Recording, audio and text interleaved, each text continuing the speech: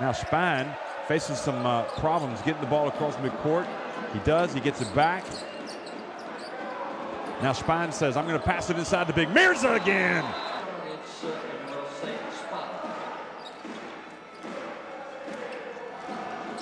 And nice drive by Punter. For Olimpija chance to, to reclaim the lead at the end of the quarter. Spine.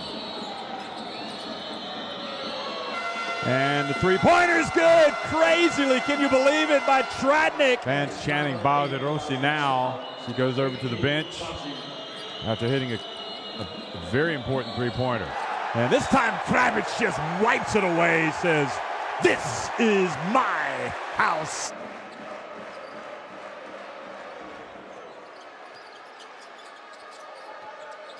M'Baye, the lane goes up for the jam. 16.4 seconds remain. Span over to Lapornik, who puts up a three. He hits it. Kamenic has it.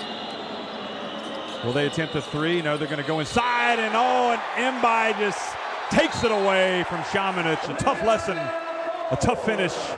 So disappointment in the end for Petrol Olimpija. They threw a scare into this uh, Segafredo Virtus Bologna team.